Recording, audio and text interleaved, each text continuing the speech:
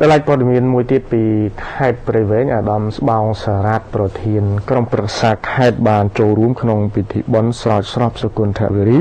ប្រគេនព្រះគ្រូបញ្ញវត្តនមុនីឆាំចន្ទថានិងសម្ពុតសមិទ្ធផលនានានៅក្នុងវត្តស្នេហ៍បុណ្យវត្តស្នេហ៍បុណ្យគឺស្ថិតនៅក្នុងឃុំជីផុចស្រុកមេសាងខេត្តព្រៃវែងហើយក្នុងឱកាសនោះព្រះគ្រូបញ្ញវត្តនមុនីឆាំចន្ទថា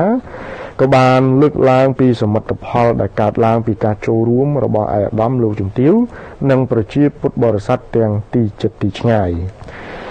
អាដាមស្បោសរាតប្រធានក្រុមប្រឹក្សាខេត្តព្រៃវែងបាននាំនៅប្រសាសន៍ផ្ដាំផ្ញើសាកសួរសុខទុក្ខនិងការនឹករលឹកពីថ្នាក់ដឹកនាំរាជរដ្ឋាភិបាលជូនចំពោះបងប្អូនប្រជាពុទ្ធបរិស័ទដែលបានចូលរួមនៅក្នុងឱកាសនោះ ហើយអាដាមក៏បានលើកឡើងពីសភាពការថ្មីថ្មីនៅក្នុងប្រទេសនិងភាពរីកចម្រើននៅក្នុងមូលដ្ឋានភូមិឃុំស្រុកដែលបាននឹងកំពុងតែវិវត្តឥតឈប់ឈរជាបន្តបន្ទាប់ដែលក្នុងនោះមានសមិទ្ធផលជាច្រើនដូចជាសាលារៀនមន្ទីរពេទ្យ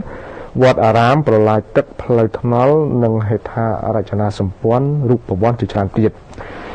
អាដាមក៏បានអំពាវនាវដល់បងប្អូនប្រជាពុទ្ធបរិស័ទបន្តចូលរួមថែរក្សាសមិទ្ធផលទាំងអស់នេះហើយចូលរួមគោរពគ្រប់គ្រងព្រះពុទ្ធសាសនាឲ្យមានការរីកចម្រើនបន្ថែមទៀត